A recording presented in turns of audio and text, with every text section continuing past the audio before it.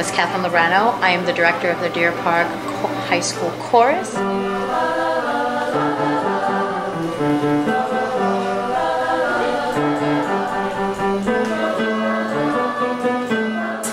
Um, I decided to take chorus because I really like, you know, singing and Miss is a really good teacher so it's a fun thing for everyone and especially when people try in chorus it can be a really good thing for people's teamwork skills and collaboration.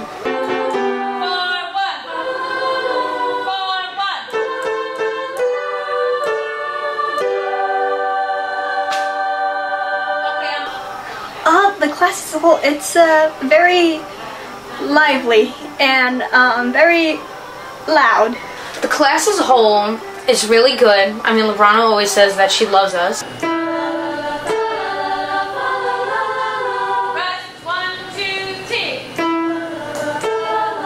Uh, preparing for the concert, um, besides getting you ready, but the night of the concert, after I get ready um, and do my warm-ups, I just literally systematically go through my head my conducting style and going through like how everything's going to be, especially when we have rehearsals and I'm conducting and I always miss a cutoff or I miss a cue and I want to practice those things so they're right for the concert.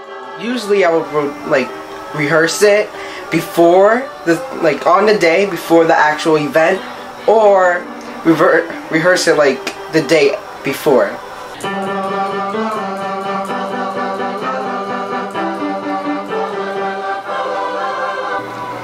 I became a chorus teacher because, well, I, I enjoyed singing and it was what I was really good at in school and it was something that interested me and I had the support of my family and my friends.